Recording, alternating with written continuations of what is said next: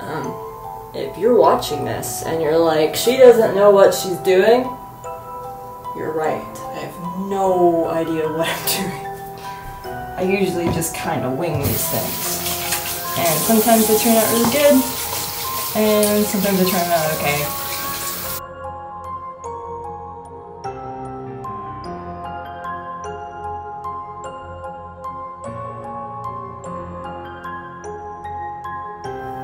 Okay, so it's done. I mean, not really. I gotta paint it now, but I think I think that looks kind of cool. I had just enough stars and everything to do this whole design. I'm sorry. I'll eventually invest in a better camera. I'm filming this on my laptop because I'm lazy.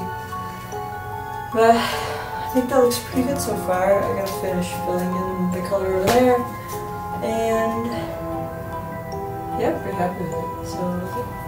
Alright, so now I am aging the door. I mixed some white paint with the same brown paint that I was using, which is just like a really, really dark brown paint. And there's a lot of black in it, so this actually turned out very gray, which is fine, it looks good.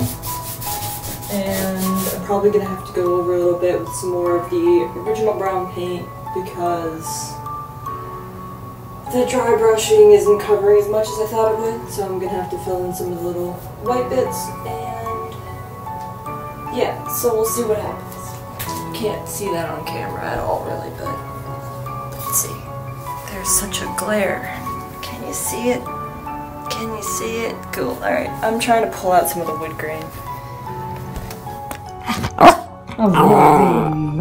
Ah. Okay, so working on the door. I did gold on the filigree, but it looked very like western kind of, probably because of the stars mostly, but so now I'm going over with purple and it looks a lot better. It's looking more like the way I want it to. I might add some little gemstones here and there, but I don't have any right now, so I'm gonna have to go buy some. But it looks good for now, so it's done. Um, I did add a little bit of brown in there because I wanted some actual like brown to kind of match the rest of the bathroom. Um, pretty happy with it. If I add any little other things to it, I will update everybody on my Instagram and I'll leave the Instagram in the description bar. And yeah, I'm pretty happy. And also I'm gonna do a uh, another full bathroom tour. I've had a lot since the last one and I think I can finally call my bathroom done. So I'm pretty excited, and uh, I'll see you all in another video. Later.